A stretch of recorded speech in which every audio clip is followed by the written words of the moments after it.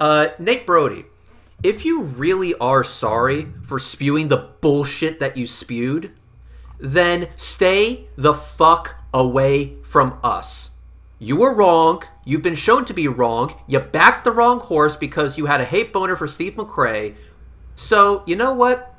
It's on you. You now have to live with the fact that you backed a fucking fraudster, that you couldn't see the evidence that was right the fuck in front of you. So, from me to you, Nate Brody, fuck off, suck a dick, leave us the fuck alone, you piece yeah, of shit. Nate, even even your best friend G Man said that Steve was right.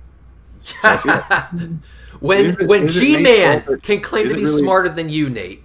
But is it really Nate's fault that his bias got in the way of actually observing evidence? Yeah. Yes. yes, it is. Yes, it is. yeah, Absolutely. yeah, it is absolutely. So, so uh, I'm just going to repeat it one more time, just in case Nate, you kind of tuned out. I don't want your fucking apology. I don't care to get your fucking apology. I don't care for a fucking super chat.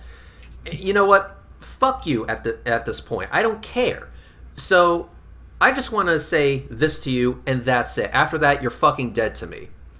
Nate, if you truly are sorry, stay the fuck away. Stay the fuck away. You've been shown to be completely full of shit, and that's it. Nothing more needs to be said. Fuck off. So, you know what? It's on you. You now have to live with the fact that you backed a fucking fraudster, that you couldn't see the evidence that was right the fuck in front of you.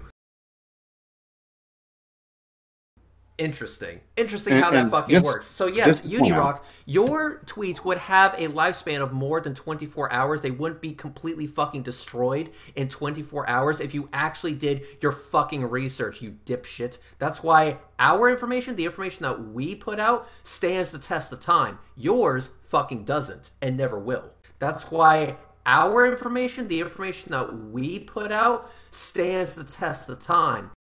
Stands the test of time.